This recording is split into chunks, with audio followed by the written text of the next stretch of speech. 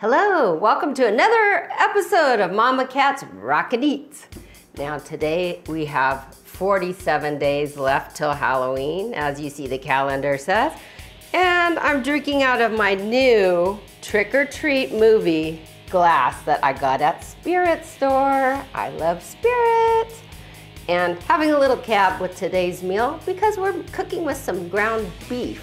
So let's get this going. I'm going to make some stuffed bell peppers today with a mixture of ground beef, black beans, some spices, some tomato sauce, and onion in the ground beef, and that's about it. And if you're a vegetarian, you can stuff it with just the black beans. You could add rice into it, but we're gonna eat some rice on the side. So let's get this going.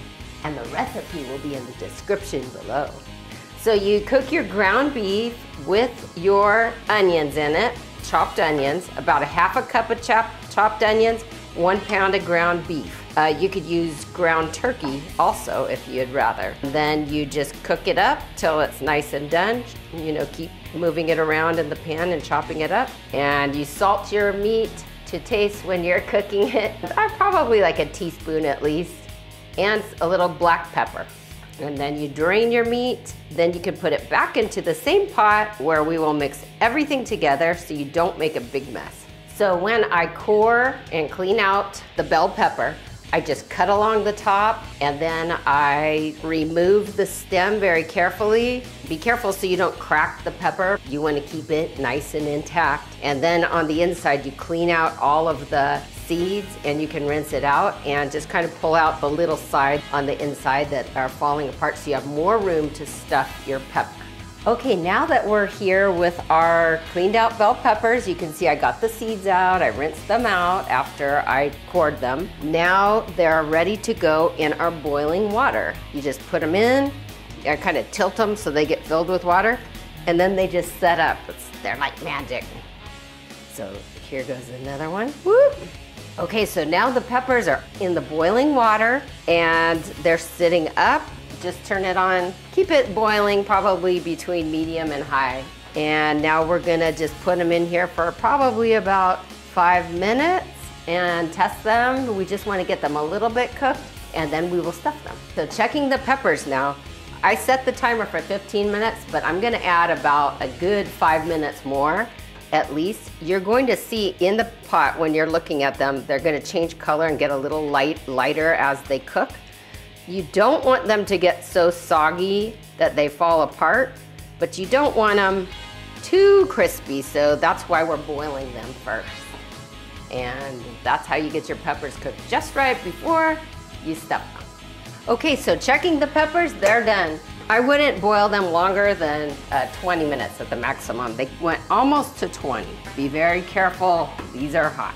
Now you'll just pour the water out very carefully. Now we can take them out. Okay, so I again, I like my tongs for this. Here's my little plastic tray, and I'm gonna take them out onto this. There's just two of us, so we probably won't eat all four peppers, but if we're really hungry, we can. Otherwise, we have another leftovers for dinner One's enough when you eat a you know salad with it or some rice or whatever you have along with it. They still have their nice green color. You don't want to get them boiled to death so that they turn really light colored and get all slimy. That's why 15 to 20 minutes is maximum. I'm gonna turn them upside down just to let the water drain out. Now in the meantime, I'm gonna set my oven to 350 because we're gonna bake them once we get them stuffed. So now we're going to make our mixture to stuff the peppers. I turned the peppers upside down just to let the water run out. And now we're back to the same pot that we cooked our meat in and drained it so you don't have to dirty up another pan. Keep it nice and easy. I'm gonna use an eight ounce can of tomato sauce. Pour that in. Then I rinsed and drained a 15 ounce can of black beans.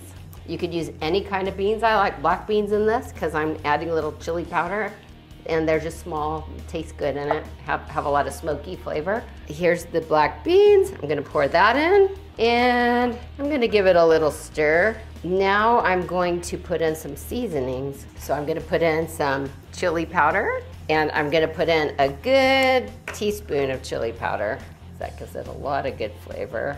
Sprinkle it all in. Next I'll put in some ground cumin. This is always a good spice to have on hand. You can do so much with it. Put in a good teaspoon of cumin. This is where you get all your flavor. Along with the onions that are, have been cooked in the meat, you've gotta have that to give that flavor. And I use the shortcut chopped frozen onions again, which I know a lot of you have enjoyed hearing about. And boy, is it a lifesaver. Now for a little garlic powder. I don't like to overdo it with garlic. We vampires don't do well with too much. And so I'm gonna just put in a half a teaspoon. I just use the powder. Now, if you wanted more and you're a real uh, garlic fan, and if I, you know, I like it too when you put in, you could saute your onions and your garlic, fresh garlic, clove, chopped up on the stove and saute it together and then cook your meat. You could do that too. But this is easy. Now give it a good stir. Get all of this stirred together. Now what I really like too, not too much unless you like a lot, um, some red chili pepper flakes. They add some nice flavor. So I'm just gonna give it a couple shakes. And then you can always add more. All right, that should do that. The mixture is ready and these have drained, so I'm gonna turn them back over. They're still hot. Now what you're gonna wanna do is spray your pan. I just have a little small pan here to hold four. If you make these for a, a group of people, you could use a larger pan, glass or tin, whatever you want. And I'm gonna spray it with the non-stick canola oil that I like. Now that's all ready to put my little peppers in. I'll put them right in the pan. See how fancy these look? And it's not hard to make. You could, you could think of different ways to make it. I mean, you could make them with diced tomatoes. You can make them with the other veggies in it. And there's so many variations. You can do this uh, vegetarian without meat or with just different spices, tomato sauce or soup, like I said. So I'll, I'll make different variations, but it's just a pretty way to serve a meal too if you have company, because everybody gets one. Not everybody makes these, so it's kind of fun. Now you fill these as full as you can get them. Okay, so these are done. You have the option of putting a little cheese on and melting it. I'm gonna get out some shredded cheddar cheese that I have. You can use cheddar, you could use jack, you could use whatever you want. Just sprinkle a cheese on the top of each one. And then it looks pretty, of course, when you take it out with the glistening melted cheese all on it. And now I'm going to take them over to the oven, which is preheated to 350. Put them in, and I'm gonna set timer for 20 minutes and check them. All right, so the timer went off, 20 minutes. Let's check the peppers.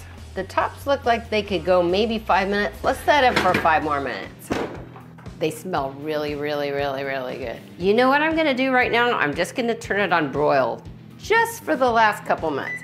Now, broil sets your oven to 500 degrees, so it is hot. You do not want it to be at 500 degrees without monitoring it and doing it for about two to three minutes. So now it should get that cheese just nice and gooey on top because I'm sure it's cooked all, all the way through. It's, the meat was already cooked, so it's just heating it through is what we wanted. Get all those flavors together. Let's take a peek at what's happening. 500 degrees is hot. If it gets to be 500 degrees in Tucson, I'm out of here. okay, let's see. Looking good. This is a good thing to make when you want a tasty dinner. It's simple, and we will be doing a lot more fun cooking recipes for fall. We'll do some more baking and some more dinner dishes. All right, let's get the peppers. They've got to be done by now. Look at them. Look at that. They got a little bit browned on the top. Oh, they look so good. Got a little bit of char on them from that two minutes of broil. Don't do it more than two minutes. Okay, so I got my pinchers ready. That's what you call them, the pinchers. Now let's put one on our plate. I got a little brown rice tonight we're gonna have with us. When you cut up in your pepper and it all kind of goes all out, you eat it with that brown rice and it is so good. So let's put on A nice big one for mochi. Look at that. Another thing that I like to do is put out a couple hot sauces. People are gonna want that. You know, the family I have, everybody wants something spicy. Now, the other thing I like to do is put a little sour cream on it. I like to put it on, it looks pretty if somebody wants some on, just to put it on like that. So here we are, Mama Cat's Rockin' Eats, stuffed bell peppers. So good, make them at home. Let's open this up. See what it looks like inside. The juices are all running out. Look at that. It is fantastic. Make these people. You will not be sorry. If you're eating low carb, don't eat rice with it. Have salad with it. You can do that. So let's see what it tastes like. Let's get a bite. Mm. Two thumbs up from Mama Cat. Thank you for watching another episode. Let's get together again next week for another episode of some good food. Don't know what I'm gonna make yet, but it'll be something fun and yummy. Cheers! I said cheers first. Oh my gosh, Yeah. this tastes so good. I'm not kidding. Muffin. And it's not even too hot. You're gonna love So, now then,